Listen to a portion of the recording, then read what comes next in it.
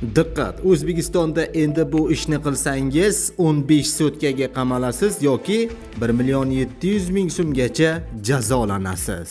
Videorolikdan to'liq xabardor bo'lish uchun video ostiga like tugmachasini bosib, o'z fikrlaringizni izohlarda qoldiring.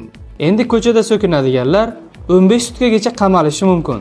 Ma'muriy javobgarlik to'g'risidagi kodeksning 183-moddasiga ko'ra, jamoat joylarida uyatli so'zlar bilan so'kinish mayda bezorlik sifatida malakalanadi. Ushbu harakatni sodir etgan shaxslar ba'zi hisoblash miqdorining 3 baravaridan 5 baravargacha yoki 15 sutkagacha ma'muriy qamoqqa olinishiga sabab bo'ladi. Demak, yuqoridagi harakatlar uchun qonunchilikda javobgarlik choralari muqarrar belgilangan. Shu kabi foydali ma'lumotlarni kuzatib borish uchun kanalga obuna bo'lib, layk tugmachasini bosib qo'yishni unutmang.